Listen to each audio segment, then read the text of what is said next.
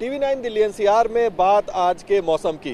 Delhi NCR में तापमान की बात करें तो न्यूनतम तापमान आज 11 डिग्री सेल्सियस दर्ज किया गया, जबकि अधिकतम तापमान 27 डिग्री सेल्सियस तक रहने का अनुमान है।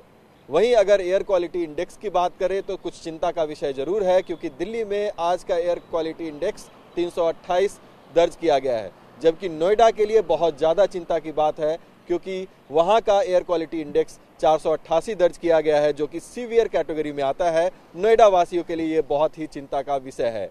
गुड़गांव के लिए भी राहत भरी खबर नहीं है, क्योंकि वहाँ का एयर क्वालिटी इंडेक्स 308 दर्ज किया गया है, जो कि वेरी पुअर कैटेगरी में आता है। तो कुल मिलाकर अगर दिल्ली एनसीआर के ओवरऑल एयर क्वालिटी इंडेक्स की बात करें तो स्थिति आज भी चिंताजनक है। वहीं अगर तापमान की बात करें तो आज मिनिमम टेम्परेचर 11 डिग्री सेल्सियस से लेकर 12 डिग्री सेल्सियस तक दिल्ली एनसीआर के पूरे इलाके में दर्ज किया गया है। लेकिन आने वाले दिनों में इसमें और गिरावट होने की अनुमान भी है, जो कि 8 डिग्री सेल्सियस से 7 डिग्री सेल्सियस तक न्यूनतम तापमान हो सकता है। वहीं अगर अधिकतम तापमान की बात करें तो ये 26 से 27 डिग्री सेल्सियस के बीच में रह सकता है।